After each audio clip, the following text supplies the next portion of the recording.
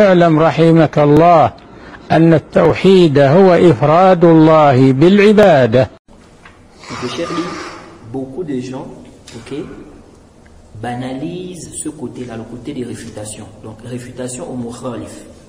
Ok, ça c'est le deuxième point. Donc, nous sommes des gens de la sunna et tu fais pas des rouloud.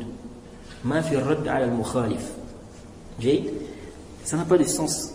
Tu dois réfuter les gens du faux, en commençant par le shirk, les gens du shirk, ok? Ensuite, les gens de, de etc. Donc, le cher dit la réfutation au mukhalif. Il dit beaucoup de gens banalisent ce côté-là. Ils voient que celui qui fait ça, il est en train de diviser la Ummah. Et ça, c'est la réalité. Aujourd'hui, celui qui fait le c'est lui qui divise la Ummah. Donc, c'est comme si les gens veulent qu'on se regroupe en fait dans le faux. Donc, quelqu'un peut venir aujourd'hui, il va égarer les gens, il apporte des bid'ah, il dit il ne faut pas réfuter, il faut laisser. Parce que si tu viens réfuter, on dit tu es en train de diviser la communauté. Mais si on ne réfute pas ça, le faux va se propager, les gens vont suivre ça, et ça c'est dangereux. Vous voyez? On nous, a, on nous a qualifié de la meilleure communauté. Pourquoi? On a dit on ordonne le bien et on interdit le mal. On dit vous êtes la meilleure communauté qu'on ait fait surgir pour les hommes. Vous ordonnez le bien, vous interdisez le mal, vous croyez en Allah. Donc on ne peut pas seulement être là, on est assis seulement, se voir, quelqu'un vient, vient parler des bonnes, des bonnes, les bonnes, comment on ça, bonnes œuvres. Venez à la mosquée, faites les ablutions, il faut venir à la mosquée, il faut saluer ton frère, quand tu manges, il faut les bons, le adab, tout ça, c'est bien. Mais il faut aussi faire le rôle au mukhalif, il faut aussi faire le rôle de ce qui est faux. Donc en même temps, tu appelles les gens à ce qui est bien, mais tu mets aussi en garde contre ce qui est faux. Ok? Donc, euh, et le fait de ne pas ordonner, le fait de ne pas interdire le mal, c'est un grand mal dans la Ummah. À cause de ça même, Allah peut faire descendre le châtiment parce que les gens sont en train de voir le munkar et puis ils font quoi? Ils font pas, ils font pas le inkar. Ok? Donc, il dit, si le cheikh dit, ce côté-là et beaucoup de gens banalisent ça. Ils banalisent ça parce que pour eux, on est en train de diviser la Ummah en faisant les roudoud. Alors que non, on veut que les gens suivent la vérité. Tous les prophètes qui sont passés, est-ce que les prophètes sont venus pour dire aux gens seulement, ou bien pour dire aux gens ce qu'ils veulent? Non, ils sont venus, n'est-ce pas, pour guider les gens, pour montrer aux gens la voie qui est juste. On leur a demandé, n'est-ce pas, de mettre en garde contre le shirk, d'appeler les gens à l'adoration d'Allah seul, d'appeler les gens à la droiture. Et c'est ce qu'ils ont fait. Maintenant, il y en a qui ont accepté, il y en a qui n'ont pas accepté, il y en a qui ont voulu même les tuer. Ok? Parce que quand tu ordonnes le bien et tu interdis le mal, il faut savoir que tu vas avoir des ennemis, des gens qui vont t'attaquer, des gens qui vont te détester. Parce que, oui, voilà, tu es contre leur passion. Maintenant, toi, tu dois patienter. Tu dois penser que les prophètes aussi ont subi ça. Le prophète Mohammed a voulu le tuer. Hein? Les, les, mécréants ont voulu le tuer. Il y a des prophètes qui ont été tués. Allah nous a parlé dans le Coran des prophètes qui ont été tués. Pourquoi? Parce que tu dis ce qui est contraire. Le papa d'Ibrahim, il a dit à Ibrahim que si tu n'arrêtes pas, je vais te, te lapider. Si tu n'arrêtes pas, je vais te lapider. Parce que, et pourtant, qu'est-ce qu'Ibrahim lui disait Il disait seulement de délaisser les fausses divinités, d'adorer Allah seul. Donc, quand tu appelles les gens à la vérité, c'est évident. Il y a des gens qui vont te détester, il y a des gens qui vont te combattre, mais toi, tu dois patienter. Et aujourd'hui, beaucoup de gens comprennent mal la réfutation. Parce que aussi, il y en a, ils n'ont pas bien expliqué aux gens le but. Parce que quand tu expliques aux gens réellement le but de la réfutation, pourquoi c'est légiféré, pourquoi on doit faire le rad, celui qui a une raison saine, il va accepter. Voyez Imaginons quelqu'un, toi tu as un enfant, tu, voilà quelqu'un qui vient enseigner tes enfants. Maintenant on te dit que celui qui vient enseigner tes enfants là, c'est un shit par exemple. Et il enseigne à tes enfants qu'il faut insulter Abou Bakr, il faut insulter Omar, il faut insulter la, Aïcha. Est-ce que toi, en tant que papa, tu vas laisser ton enfant prendre, n'est-ce pas, la, la, science avec lui? Non. Tu vas mettre en garde. Tu vas dire à cette personne d'arrêter d'enseigner tes enfants. Car tu sais que c'est un mal. Donc ici, là, tu ne vas pas tolérer ça. Et si tes enfants viennent te dire que, mais, euh, papa, celui que tu, as, que tu as appelé pour nous enseigner là, il nous a dit comme ça sur Abou Bakr, il nous a dit comme ça sur Omar, il nous a dit comme ça sur Aïcha. Et il apporte les choubhat que celui-là lui a, euh, que celui-là a, balancé. Qu'est-ce que tu vas faire? Tu vas réfuter ça. Tu vas dire non, c'est faux. C'est pas ce qui vous a dit, c'est pas comme ça. Tu vas expliquer, expliquer. Mais tu es en train de faire un rad. Tu vois?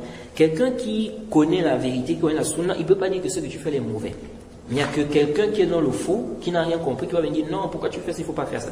C'est la même chose. Lorsque tu viens dans la mosquée, tu viens enseigner, tu es au courant que dans le milieu où tu vis là, il y a des gens qui font les munkarot, il y a des gens qui font des choses qui ne sont pas la sunna, c'est la bida. Toi, tu viens éclaircir. Tu dis la sunna, c'est comme ça, c'est comme ça, c'est comme ça. Ce que vous faites ici, là, c'est pas la sunna. C'est la bida. Parce que c'est pas rapporté du prophète. Tu expliques, tu apportes les paroles des savants, tu apportes ceci, ceci, ceci. Celui qui, est, qui, est, aime la vérité, il ne peut pas dire que tu agis mal ici. Vous voyez. Mais comme aujourd'hui, les gens, ils préfèrent que les gens restent dans le faux, mais ils sont unis, soi-disant, ils vont dire non, il ne faut pas faire ça parce que ça va diviser les gens. Mais on dit, vous voulez donc que la communauté puisse se réunir dans le faux. Et ça, c'est très dangereux. Donc il dit, beaucoup de gens négligent ce côté-là. C'est pourquoi vous allez voir les al Ou bien les gens qui, leur manage n'est pas clair. Vous n'allez pas trop les voir. ils ne sont pas vraiment dans les rouleaux, en fait. Ils ne sont pas dans les réfutations. Parce que, en fait, ce qui fait que les gens délaissent les réfutations, il y a plusieurs mots. Il y a plusieurs choses, en fait. Parmi ces choses, il y a la peur. Il y a des gens qui ont peur. Mais parmi ces choses, il y, en a en fait, ils se disent que moi, si je fais ça, les gens vont, me fuir en fait. Si par exemple quelqu'un il avait une foule de personnes, beaucoup de gens le suivaient.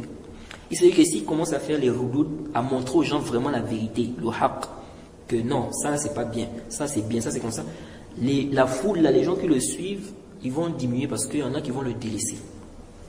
Donc lui, il veut préserver quoi? Son honneur, il veut préserver la renommée qu'il a auprès des gens, donc il va se taire. Il va pas dire ce qui est, il va il va pas parler du monde car, il ne va pas refuter ça, mais il va seulement parler des choses qu'il sait que les gens aiment. Les gens ne sont pas fâchés, ne sont pas fâchés quand il parle de ça, c'est ce qu'il va traiter. Or non, ça c'est quoi? Ça, le prédicateur ne doit pas se comporter comme ça. Un prédicateur, lui d'abord, la base chez lui d'abord, c'est quoi la sincérité? Toi d'abord, c'est d'abord la sincérité. Tu fais la dawa, c'est pour le visage d'Allah. C'est pas pour les gens. Les gens vont te mettre en haut, les gens vont. Non, c'est pas ça que toi tu regardes. Maintenant, quand tu vas prêcher, quand tu vas enseigner, tu dois dire aux gens la vérité. Parce que tu es un daï, tu as une responsabilité. Ce que tu as appris comme vérité, tu dois enseigner ça aux gens. Tu dois aider les gens à sortir de quoi? Des troubles. Quelqu'un peut même se mettre en colère contre une personne parce que la personne ne lui a pas montré la vérité. Imagine-toi quelqu'un, il est avec toi depuis des années. Il fait quelque chose, toi tu sais que c'est pas bien. Tu n'as pas lui, c'est quelqu'un, il est prêt à accepter la vérité. Si tu lui montres avec des preuves, il va accepter. Tu es avec lui, tu ne lui dis pas. Parce que tu dis non, si je dis, il va se fâcher, les gens vont se fâcher, les gens vont casser la casa. Donc tu te tais. Tu es là avec eux dans la mosquée, tu prêches, tu prêches. Jamais tu ne parles pas des, choses là, des bidas là, rien. Maintenant, lui, il quitte là, il va apprendre chez quelqu'un d'autre. En allant là-bas, il apprend que, oh, donc ce qu'on fait là-bas au quartier ou bien la mosquée là, c'est des bidas comme ça. Il se peut, n'est-ce pas, si c'est quelqu'un qui aime vraiment le haq, il se peut qu'il ait maintenant une haine envers toi à cause de ça. Il va dire, mais donc toi, tu n'aimes, tu es méchant.